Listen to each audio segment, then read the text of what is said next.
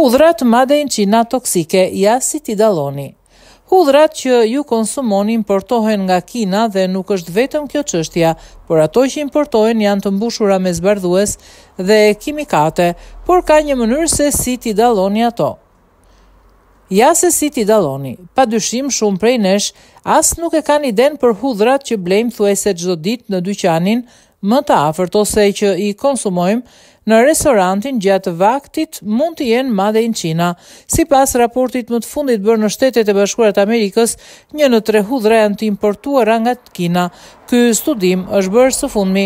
Nuk është problem që janë prodhim kinez, por problemi qëndron në faktin që janë toksike.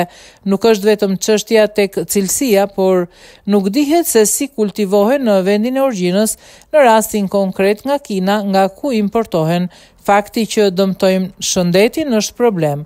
Prodhuesi kinez përdor pesticide që janë të ndaluara me ligj për të rritur prodhimin e tyre, të cilat janë fatale për shëndetin. Disa nga pesticidet që ata përdorin janë porate dhe parathion.